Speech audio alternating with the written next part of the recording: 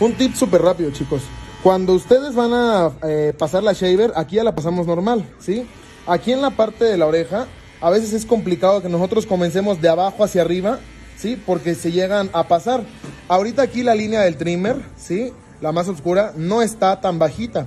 Pero cuando está más bajo, se llega a complicar aquí. Recomendación rápida, no me voy a tardar. Vamos hacia abajo, ¿sí? Primero, para marcar lo que va a ser... Eh, pues aproximadamente lo que realiza una trimmer de 0.4 milímetros, así, hacia abajo. Y ya con una de las mallas, ya solamente limpian de abajo hacia arriba. Imaginemos que el espacio está muy cortito, miren. Hicimos la oreja hacia abajo y si el espacio está muy cortito, ya solamente limpiamos.